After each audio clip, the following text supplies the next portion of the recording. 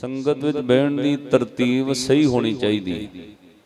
ਜੇ ਤਰਤੀਬ ਗਲਤ ਹੋਵੇ, ਤਾਂ ਉਹਦਾ ਤਕਰੀਰ ਉੱਤੇ ਵੀ ਅਸਰ ਪੈਂਦਾ ਬਾਕੀ ਇਹ ਬਹੁਤ ਜ਼ਰੂਰੀ ਨਹੀਂ ਹੁੰਦਾ ਕਿ ਬਹੁਤ ਲੋਕ ਬੈਠੇ ਹੋਣ, ਉਹਨੂੰ ਸਾਧ ਸੰਗਤ ਕਹਿੰਦੇ ਨੇ। ਇੱਕ ਸਿੱਖ, ਦੋਏ ਸਾਧ ਸੰਗ। ਔਰ ਸਾਧ ਸੰਗਤ ਦੀ ਵਡਿਆਈ ਪਤਾ ਕਿੰਨੀ ਹੈ? ਪਾਤਸ਼ਾਹ ਬਾਣੀ ਅੰਦਰ ਵਾਰ-ਵਾਰ ਸਤ ਸੰਗਤ ਦੇ ਕਨਸੈਪਟ ਨੂੰ ਸਮਝਾਉਂਦੇ ਨੇ। ਭਾਈ ਸਤ ਸੰਗਤ ਕਰਨ ਦੇ ਨਾਲ ਜਨਮ ਸਫਲ ਹੁੰਦਾ ਹੈ। ਸਤ ਸੰਗਤ ਕਰਨ ਦੇ ਨਾਲ ਪਾਪ ਨਾਸ਼ ਹੁੰਦੇ ਨੇ। ਸਾਧ ਸੰਗਤ ਕਰਨ ਦੇ ਨਾਲ ਬੰਦੇ ਦਾ ਜਨਮ ਸੌਖਾ ਹੀ ਸਫਲ ਹੋ ਜਾਂਦਾ ਇਹਨੂੰ ਪਾਤਸ਼ਾਹ ਰੋਜ਼ ਚੇਤੇ ਕਰਾਉਂਦੇ ਨੇ, ਭਈ ਪ੍ਰਾਪਤ ਮਨੁੱਖ ਦੇ ਹੁਰੀਆ, ਗੋਵਿੰਦ ਮਿਲਣ ਕੀ? ਇਹ ਤੇਰੀ ਵਰੀਆ, ਅਵਰ ਕਾਜ ਤੇਰੇ ਕਿਤੇ ਨਾ ਕਾਮ ਮਿਲ। ਸਾਧ ਸੰਗਤ ਭਜ ਕੇਵਲ ਨਾਮ। ਰੋਜ਼ ਯਾਦ ਕਰਾਉਂਦੇ ਨੇ ਰਹਿਰਾਸ ਵਿੱਚ। ਮੇਰੇ ਮਾਧੋ ਜੀ, ਸਤ ਸੰਗਤ ਮਿਲੇ ਸੋ ਤਰਿਆ ਗੁਰ ਪ੍ਰਸਾਦ ਪਰਮ ਪਦ ਪਾਇਆ, ਸੁਕੇ ਕਾਸ਼ਟ ਹਰਿਆ। ਇਹਨੂੰ ਸੁਖਮਨੀ ਸਾਹਿਬ ਵਿੱਚ ਕਿਹਾ, ਕੋਟ ਅਪਰਾਧ ਸਾਧ ਸੰਗ ਮਿਟੇ, ਕਰੋੜਾਂ ਅਪਰਾਧ ਸਾਧ ਸੰਗਤ ਵਿੱਚ ਆ ਕੇ ਮਿਟ ਜਾਂਦੇ ਕੋਟ ਅਪਰਾਧ ਸਾਧ ਸੰਗ ਮਿਟੇ, ਸੰਤ ਕਿਰਪਾ ਤੇ ਜਮ ਤੇ ਛੁਟੇ। ਸਾਧ ਸੰਗਤ ਵਿੱਚ ਬਹਿਣ ਦਾ ਇੰਨਾ ਮਹੱਤਵ ਕਿਉਂ ਹੈ? ਇੱਕ ਪੂਰੇ ਸ਼ਬਦ ਵਿੱਚ ਗੁਰੂ ਅਰਜਨ ਦੇਵ ਮਹਾਰਾਜ ਨੇ ਲਿਖਿਆ ਧਰਮ ਦੇ ਸਾਰੇ ਕਰਮ।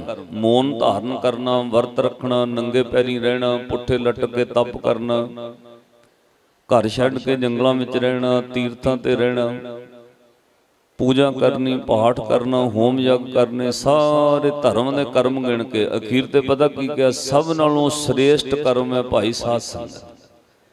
ਕਿਉਂਕਿ ਸਾਧ ਸੰਗਤ ਹਰ ਬੰਦਾ ਕਰ ਸਕਦਾ। ਹੈ ਜੱਗ ਕਰਨ ਵਾਸਤੇ ਅਮੀਰ ਹੋਣਾ ਚਾਹੀਦਾ ਹੈ। ਜੇ ਕਿਸੇ ਕੋਲ ਪੈਸੇ ਹੋਣਗੇ ਤਾਂ ਜੱਗ ਕਰੇਗਾ।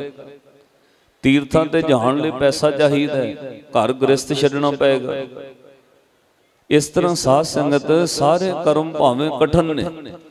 ਸਭ ਤੋਂ ਸੌਖਾ ਕੰਮ ਹੈ ਸਾਧ ਸੰਗਤ। ਔਰ ਸਭ ਨਾਲੋਂ ਸ੍ਰੇਸ਼ਟ ਕਰਮ ਹੈ ਸਾਧ ਸੰਗਤ। ਜਦੋਂ ਪਾਤਸ਼ਾਹ ਨੇ ਸ਼ਬਦ ਕਿਹਾ ਨਾ ਪਾਠ ਪੜਿਓ ਔਰ ਵੇਦ ਵਿਚਾਰਿਓ ਨਿਵਲ ਭੁਯੰਗਮ ਸੱਦੇ। ਪੰਜ ਜਨਾਂ ਸਿਓ ਸੰਗ ਨਾ ਛੁੱਟ ਕੇ ਅਦ ਕਹਾਂ ਬੁੱਧ ਬੱਧੇ ਉਹ ਸ਼ਬਦ ਵਿੱਚ ਕਹਿੰਦੇ, ਮੋਨ ਭਇਓ ਕਰਪਾਤੀ ਰਹਿਓ, ਨਗਨ ਫਿਰਿਓ ਬਣ ਮਾਹੀ। ਤਟ ਤੀਰਥ ਸਭ ਧਰਤੀ ਭ੍ਰਮਿਓ ਦੁਬਦਾ ਛੁੱਟ ਕੇ ਨਾਹੀ। ਅਖੀਰ ਤੇ ਜਾ ਕੇ ਕਿਹਾ, ਸਭ ਨਾਲੋਂ ਸ੍ਰੇਸ਼ਟ ਕਰਮ ਸੁਣੋ ਭਾਈ ਕੋਈ ਉੱਥੇ ਮਹਾਰਾਜ ਕਹਿੰਦੇ, ਹਰ ਕੀਰਤ ਸਾਧ ਸੰਗਤ ਹੈ। ਭਾਈ ਰੱਬ ਦੀ ਕੀਰਤੀ ਕਰਨੀ, ਸਾਧ ਸੰਗਤ ਵਿੱਚ ਬਹਿ ਕੇ। ਸਭ ਨਾਲੋਂ ਸ੍ਰੇਸ਼ਟ ਕਰਮ। ਹਰ ਕੀਰਤ ਸਾਧ ਸੰਗਤ ਹੈ, ਸਿਰ ਕਰ ਮਨ ਕੇ ਕਰਮਾ। ਕਹੋ ਨਾਨਕ ਤਿਸ ਭਇਓ ਪ੍ਰਾਪਤ, ਜਿਸ ਪੁਰਬ ਲਿਖੇ ਕਾ ਲੈਣ। ਭਾਈ ਜਿਹਦੇ ਮੱਥੇ ਦੇ ਭਾਗ ਚੰਗੇ ਉਹਨੂੰ ਸਾਧ ਸੰਗ ਪ੍ਰਾਪਤ ਹੁੰਦਾ। ਔਰ ਸਤ ਸੰਗਤ ਵਿੱਚ ਬਹਿਣ ਨਾਲ ਬੰਦਾ ਸਰਲ ਕੰਮ ਕਰਕੇ ਬਹੁਤ ਵੱਡੀ ਪ੍ਰਾਪਤੀ ਕਰ ਲੈਂਦਾ।